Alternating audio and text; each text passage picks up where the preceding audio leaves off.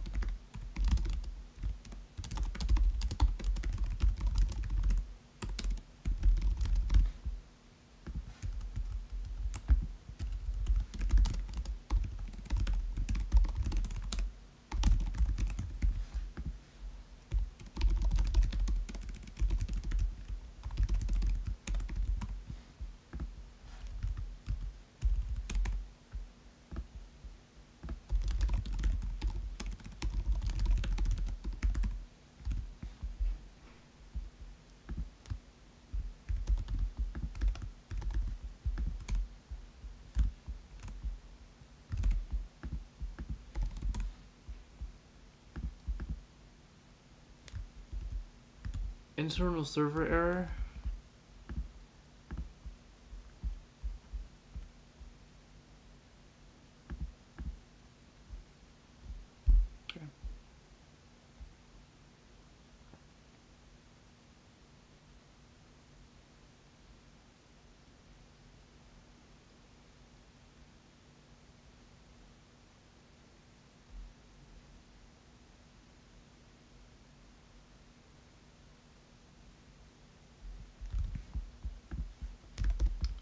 We're going to implement this poorly and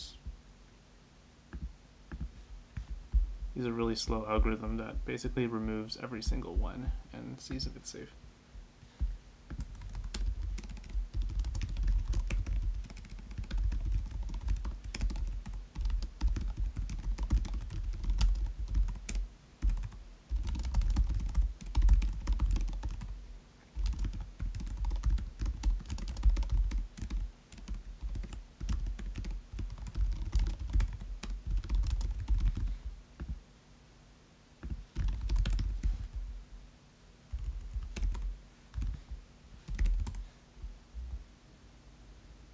Okay, excellent.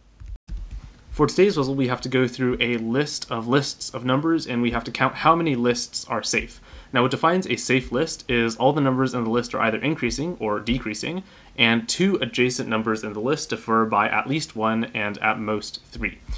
So for example, this first line is safe because all the numbers are decreasing and each time it steps down by one or two.